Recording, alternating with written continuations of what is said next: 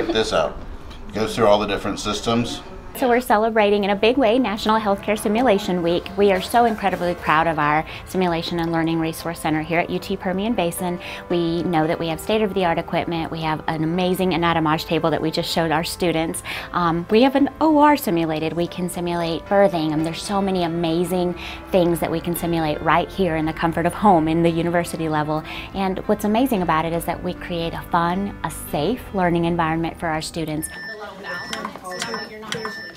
There's so many things that they may never see in their clinicals, even though they go to school for a very long time to become a nurse. They may never truly get to experience these things. But the beauty of our simulation center is that we can recreate those for them so that when they enter the workforce, they're confident, they've seen it, they've experienced it, and they know how to take care of people in our community. Really, actually within one to two weeks of starting nursing school, you are in here. You need to learn how to wash your hands. You might think, of course I know how to wash my hands. We're going to teach you the right way. And then when you rinse, you will rinse your arms up. So really within a week or so of starting, we're in here, we're learning skills, learning how to assess and look at one another, speak to one another. So we really want to utilize our nursing center from the first semester all the way up until your last semester.